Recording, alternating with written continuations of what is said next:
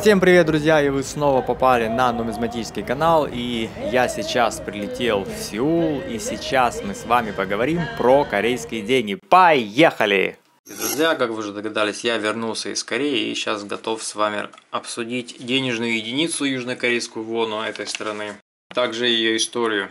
За всю историю существования Кореи эта страна прошла множество болезненных преобразований, что также коснулось э, денежной единицы. А, значит, это банкнота номиналом 1000 вон. А, она выполнена из хлопчатобумажного волокна и из первой серии современных банкнот, имеющих а, множество степеней защиты. На, на аверсе этой банкноты изображен портрет Лихвана. Он был самым лучшим и первым из всех известных корейских мыслителей, конфуцианских мастеров, философом, автором многих стихов на китайском языке. Значит, вот здесь справа годы его жизни. А, надо сказать, что к началу 16 века в династии Чосон не было своей письменности. Правительство изъяснялось на значит, китайском языке.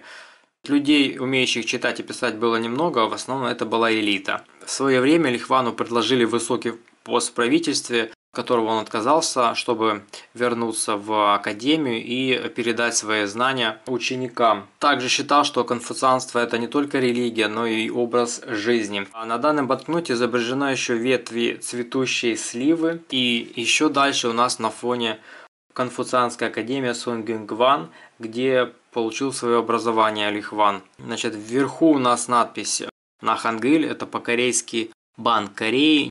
Ниже также по-корейски чон вон, то есть 1000 вон. И еще ниже у нас э, тоже по-корейски Банк Кореи и имитация печати. Ну и здесь у нас э, специальная точка, это для слабозрячих. Э, глубокая офсетная печать. На реверсе банкноты у нас надпись на английском Банк Кореи и здесь пейзаж работы художника Чон Сона. Далее у нас идет номинал 5000 вон. Банкнота выполнена из хлопчатобумажного волокна. На аверсе изображен корейский э, конфуцианский ученый в династии Чосон. Он был вторым после Лихвана, потому что Лихван был первым. Вот, Лихван был первым. Он был э, еще и реформатором, политиком и известным философом. Ли изображен на фоне музея, где он жил со своей матерью. Кстати, это считается один из старейших домов э, династии Чосон, сохранившихся э, 16 века. Вот здесь у нас годы жизни этого философа.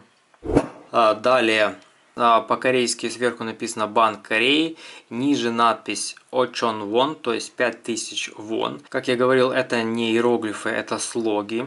Слева у нас две точки это для слабозрячих, чтобы определить номинал. Левее у нас идет голограмма надписью 5000 вон. А, на фоне этого музея также у нас а, черный бамбук. На реверсе банкноты изображено две картины его матери Шин Шайм Дан, считавшейся э, величайшей женщиной эпохи Чосон. Кстати, вот она, мы еще к ней вернемся. Его мать была художником и каллиграфистом, также поэтессой. А, значит, она писала свои картины в стиле, который она сама и придумала. То есть это стиль, изображающий как растения, так и насекомых. Первая картина это у нас арбуз, бабочки, бабочка и комар. И вторая картина это у нас Здесь изображена целозия серебристо-гребенчатая. Это экзотическое растение.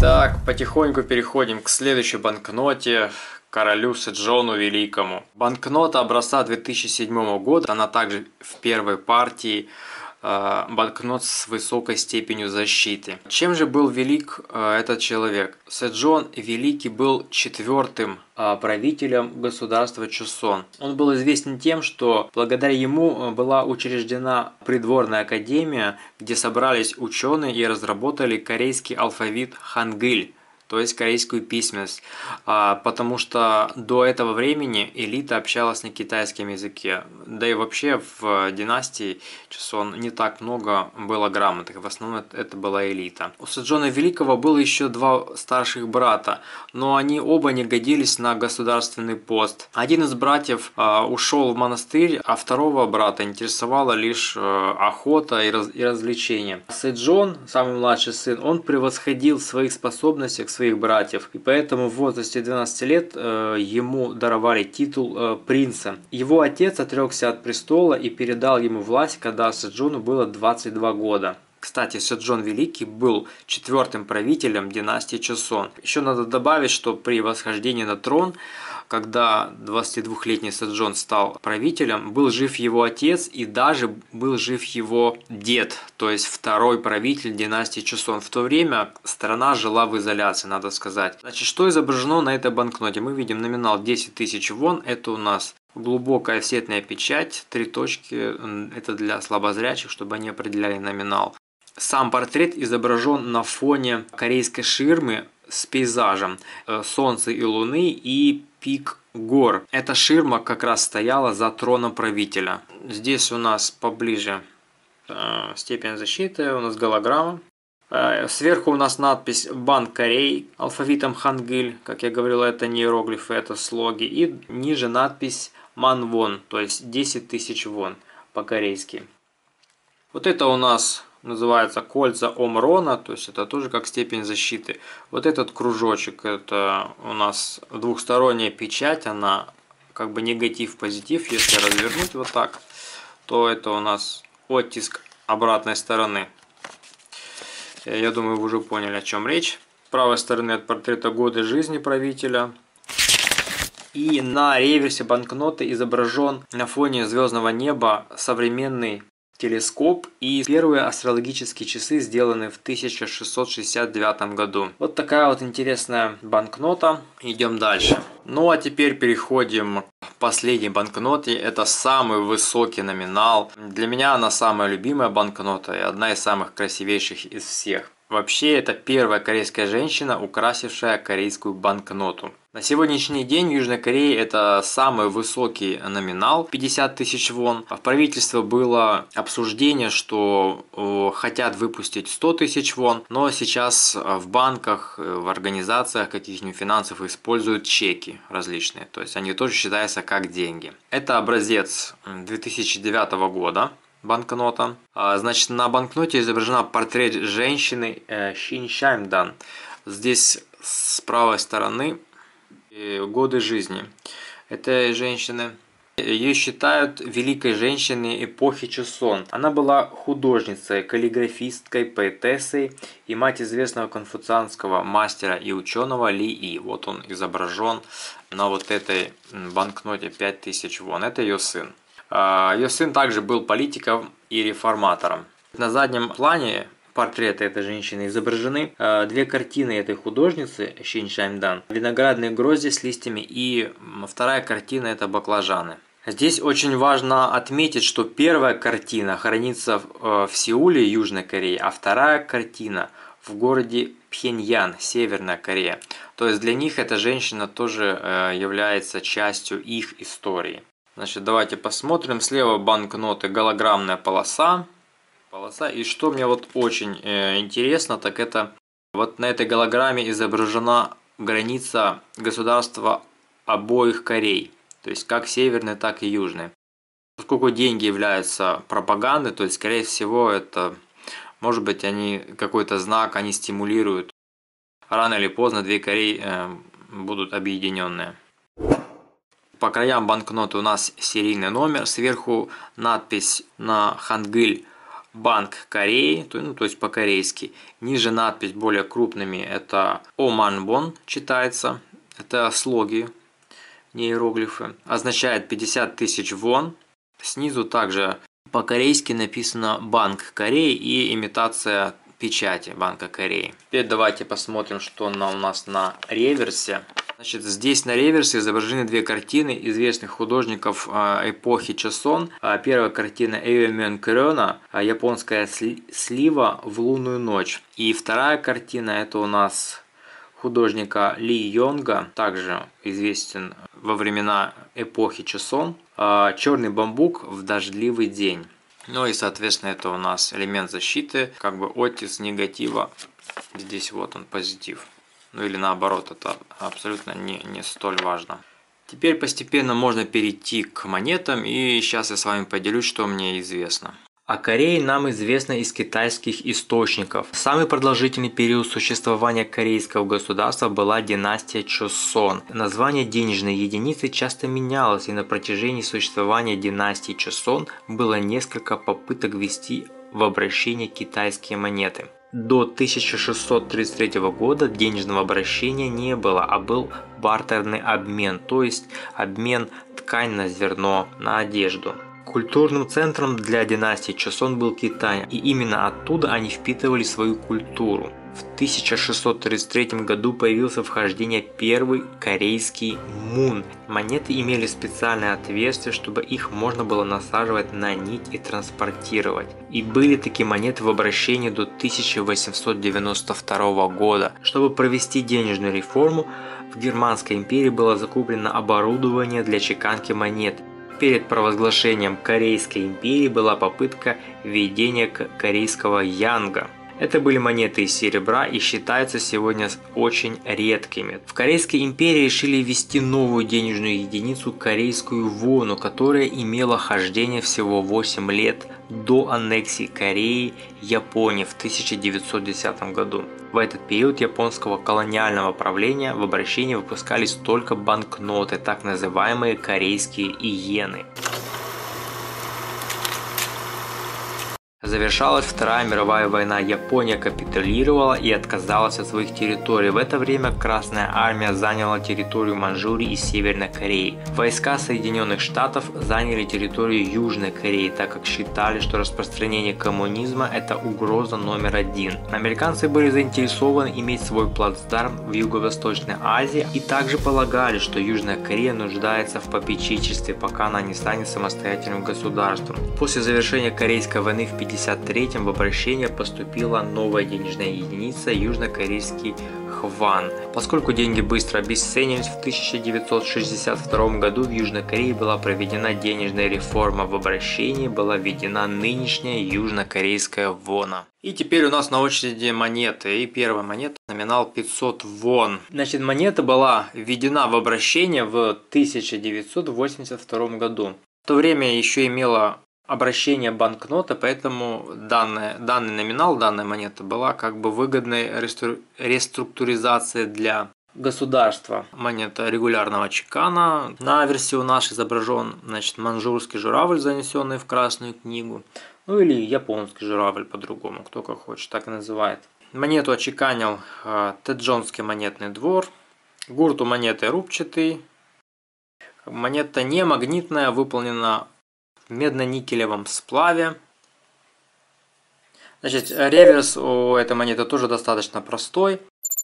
Сверху у нас идет э, дата выпуска, потом э, сам номинал 500 вон и внизу надпись э, по-корейски Банк Кореи. Все, больше ничего об этой монете особо сказать не могу. Единственное по поводу какие годы нечастые или редкие, значит редких годов нет. Значит она почти каждый год выпускалась, 82 эта монета. И тиражи у нее от 15 миллионов до 170, поэтому можете себе представить, какая у нее невысокая цена. Э, нечастый год для этой монеты это является 82 потому что тираж там был, по-моему, самый минимальный из всех годов, и уже за почти за 30 лет много монет изъялось, поскольку она в основном медь, преимущество здесь меди больше. И изъялась из обращений, переплавилась и снова очеканились монеты. Учитывайте, что рядом Китай, там тоже собирают э, нумизматы корейские монеты. Есть и такое, да? Потихонечку дальше переходим. Следующая монета у нас на обзоре достаточно интересная. Это вот это. У этого номинала было 100 вон. Было две серии выпуска. Это с 70 по 82 и с 83 года. Значит, эта монета также пришла на смену а, банкноте достоинством 100 вон. Вообще официально она находится в обращении, но в обращении я ее не видел. Я, честно говоря, для примера ее решил купить э, в интернете. А в 70-м году, чтобы ввести в обращение э, данную монету, ну, нужны были вырезать штемпеля, поэтому штемпели были заказаны в Японии. А вот особенностью этой серии монет вот, вот эти вот стилизованные э, водяные линии. Начнем с аверса. На аверсе у нас изображен э, Ли Шуншин. Это корейский флотоводец, адмирал, э, который сконструировал корабль «Черепаху Кабуксон», то есть это броненосец. Он его усовершенствовал со старой модели, и благодаря этому он э, выиграл все сражения, а сражений у него было 23. То есть он ни одного не проиграл. Для корейцев он считается героем, который спас отечество а, от набегов японцев. Кстати, и его корабль черепаха Кабуксон изображен на, вот сейчас я вам покажу, на монете 5 вон. Вот это его, то, что он сконструировал в 16 веке. Ну, давайте перейдем обратно. Ну и, собственно, надписи у нас 100 э, вон. И внизу э, надпись Банк Кореи. Теперь реверс. Здесь на реверсе только видно сам номинал 100 вон и дата чеканки и все. В принципе, все по первому выпуску. Я бы хотел перейти ко второму выпуску. Это начиная с 83 года. Вторая серия с 83 года по нынешней очеканилась э, тоже достаточно в простом дизайне, лаконичном. Э, на аверсе изображен тот же самый Ли Шуншин, герой адмирал-флотоводец, спасший Отечество. 100 вон надпись слева и справа. Гурт у нас рубчатый. Монета из медно-никелевого сплава, у нее достаточно простые характеристики. У этой серии 100 вон нету редких годов, за исключением 85-го, а он нечастого года. У них тоже были огромные тиражи, от 5 миллионов до 490 миллионов тиражей. Представьте, какие они огромные. Теперь то, что касается редкости этих монет. Значит, редкие года относительно были в 70-м году и ну, самый первый год тиража, и в 81-м. У них небольшие тиражи, в среднем от 5 миллионов и выше, и они также изымались из обращений и разошлись по нумизматам. И также этой серии монет с тавон с узором э, есть штемпельные разновидности в 74 году и в 75 -м. То есть в корейских каталогах они присутствуют, эти разновидности. В принципе все, больше редких нету. И следующий номинал, который я бы хотел обсудить, это 50 вон. Эта монета имеет достаточно простые э, технические характеристики, весит она немного. Материал у нее медно-цинково-никелевый сплав. Курт у нас рубчатый, монета регулярного чекана, ничего тут особенного. Значит, э, эта монета пришла на смену банкноте в 50 вон. Это также была выгодная реструктуризация, поскольку банкноты имеют недолгий срок хождения, срок службы, а вот монеты могут некоторые 40 лет, я видел в Корее, имеют хождение, даже больше. Ну, 40 точно.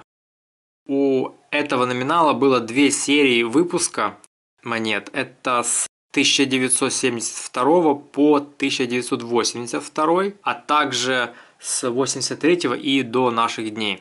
Единственное, я в последние годы не видел в Корее, 16 год, 17, ну, значит, 17, 18, 19 я еще не встречал в обороте. Но более ранних годов, конечно же, встречал. И сейчас точно выпускается в наборах э, вот эти вот номиналы. Точно в наборах современные, там 18 -го года есть. В общем, на аверсе, это у нас аверс, рисовый колос, надпись 50 вон, очень просто все. Сверху год чеканки, потом у нас идет номинал и внизу по-корейски Банк Кореи. Значит, что примечательно в этой монете я бы хотел добавить. А, когда дизайнеры разрабатывали где-то в 70-м году, может быть в 72-м, а, данную монету, и, значит, в соседней стране, в Японии, японские иены также имели хождение монеты с э, рисовым колосом. И э, дизайнер решил, что а, можно сделать монету, чтобы сэкономить на материале, можно сделать монету с отверстием в центре, ну то есть кольцевую монету. Но поскольку в Корее не было тогда технологии чеканки подобных монет, от этой идеи отказались. И Э, решили так, э, колос будет развернут в другую сторону, не так, как у японской иены, и добавили несколько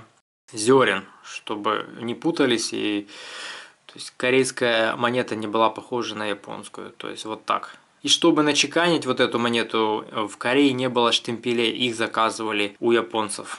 Так что вот такая история у нее. И по поводу э, встречаемости этих монет. Значит, редких годов в принципе нету. Единственное, из-за того, что тиражи были невысокие, в 1972 году э, нечастая монета считается относительно, и в 1977 больше нету редких годов, у них тиражи от 1 миллиона до 40 миллионов. Мы постепенно переходим к номиналу 10 вон. Я хотел бы начать с того, что у этого номинала было 4 серии. Вот это вторая серия. Первая такая же самая, только из бронзы, потому что это латунь. Значит, первая серия монет вот этого номинала была в 60, с 66 по 70 годы. А, значит, монета первой серии была из бронзы. Преимущество меди было больше. Первые 10 вон, которые появились в обращении 1966 года чекан. То есть это были номиналы 1, 5 и 10 вон 66 года. Соответственно, можно начать значит, с аверса. Значит, на аверсе монеты изображено здание пагоды Табатхаб. Внизу надпись по-корейски «Банк Кореи». И слева у нас тоже надпись 10 вон. И немножко стилизованный орнамент. Значит, что такое пагода? Пагода Табатхаб – это буддийское сооружение культурного характера, которое было построено в 751 году нашей эры и считается национальной сокровищницей Кореи. Я бы добавил, что в династии Чесон, которую я упоминал в течение этого ролика, а, было три религии. Это а, конфуцианство, неконфуцианство и буддизм. То есть это не так, как э, в наши годы 28% католиков живут в Южной Корее. Реверс, вот он реверс, э, достаточно прост в своем исполнении. Тут надпись на английском Банк Кореи, дата чеканки внизу 79 и сам номинал 10 вон. Значит, гурт у монеты гладкий. Да, вот тут видно немножко не рубчатый. Ну, наверное, не боялись подделки, когда чеканили. Дальше я бы хотел рассмотреть э, следующую серию. Значит, 85 -го года и 2005. В принципе, это один, одна и та же серия, только разные года. Немножко, видите, изменился дизайн. Одна серия заменяла другую. Тут здание пагоды и тут здание пагоды. Значит, что произошло э, с этой партией?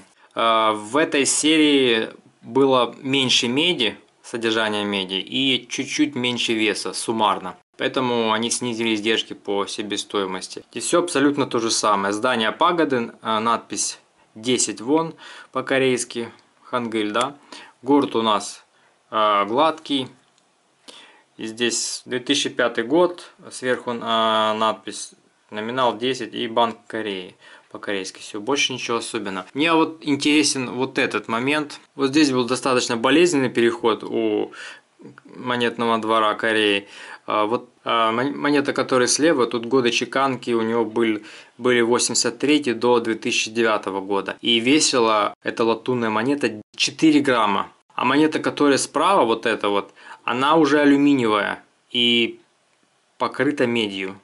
Ну, это для прочности, чтобы меньше она изнашивала. И вес ее изменился почти в 4 раза. Ну, почти. То есть, вот это 4 грамма весит, а вот, а вот это весит почти грамм с хвостиком. То есть, сами корейцы писали про эту монету, что когда они переходили на нее, они сэкономили миллионы долларов на издержках, потому что она алюминиевая, алюминий дешевле.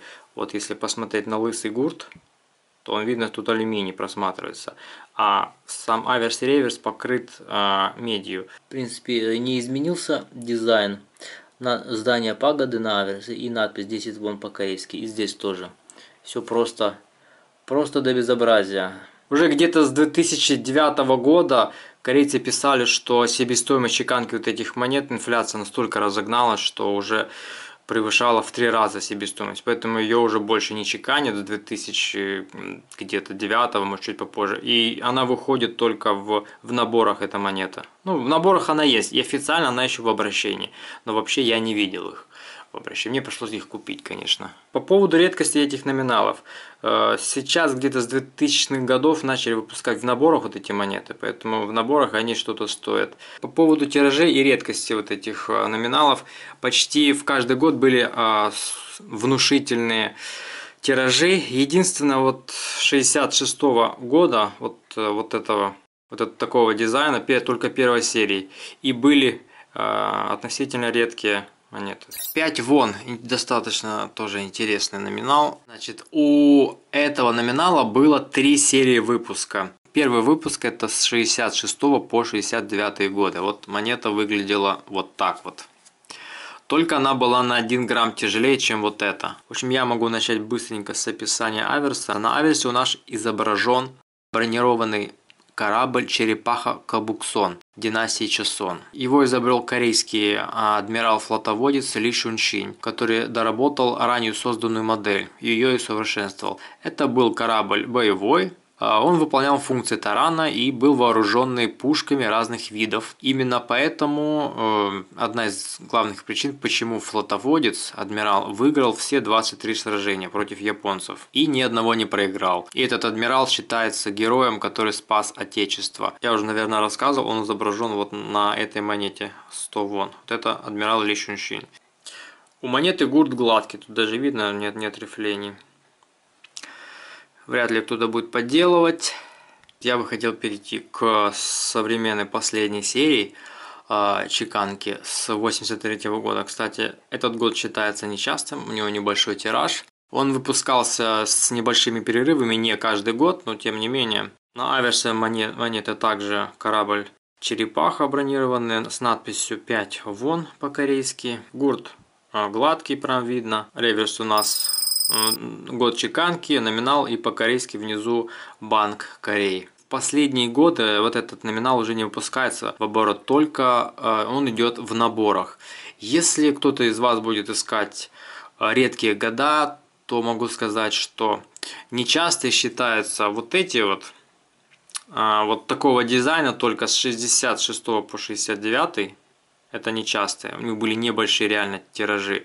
Потом редкие считаются 99 и дальше годы, потому что у них их небольшими тиражами чеканили, и они сейчас идут в наборах. А нечастым также считается вот этот 83 у меня нечасто, потом 88 и 91. И все. В принципе, ничего нового не, не, сказ, не могу сказать. Значит, обратите внимание, что первая монета находится в капсуле. Я положил в капсулу ее намеренно, потому что а, она уже вышла из обращения. То есть официально в обращении ее нет. То есть, конечно, монета куплена была, я не оттуда привез. Сейчас мы эту монетку откроем и мы начнем с описания. Значит, в обороте этих э, монет нет уже, потому что их изъяли уже из обращения. Значит, у этого номинала было три серии выпуска. Это серия 66-67, выполненная из латуни. Вот это она у меня. Вот она. А, аверс у нее так выглядит.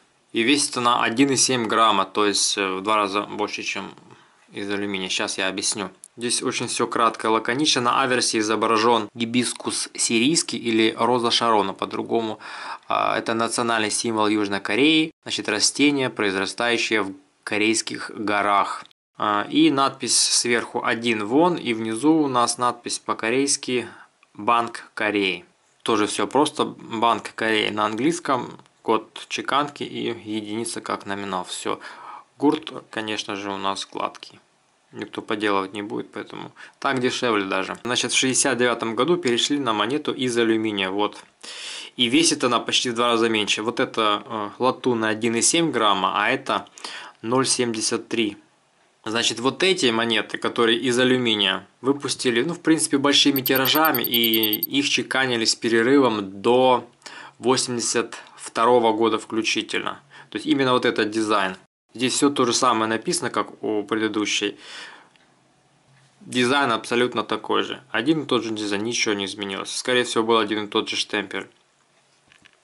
И у него были большие тиражи у этих монет, поэтому я бы сказал, что алюминиевых нету э, до 82 э, нету редких годов. И начиная с 83 -го года, обратите внимание, какая она покоцанная, начиная с 83 -го года, вот немножко изменился дизайн. А с 83 и до 95 эти монеты ну, чеканились относительно небольшими тиражами, потому что материал недорогой, алюминий. Но видите, они, он сильно изнашивается. Из 95 -го года эти монеты уже э, чеканились э, в... Ну, то есть их выпускал монетный двор Джон на, только на на, в наборах, вот и все, только в наборах. Вас, конечно, интересует, что можно купить на эти деньги. Ну, грубо говоря, один вон это, один вон это наши 5 копеек. То есть ни у нас, ни у них э, этот номинал не используется. 10 вон, который вот сейчас есть в обращении, 50 копеек. Вот такой вот у нас курс валют, 50 копеек. Ну и что было тоже понятно, что 100 вон это наши 5 рублей. Вот так, ориентировочно вот такой курс. В принципе, за 500 вон можно купить ко э, кофе в автомате. Просто. Значит, сегодня в Корее курс такой, 1 доллар стоит 1000 вон. То есть это где-то вот так вот. На сегодня все, друзья. Ставьте лайки и всем пока.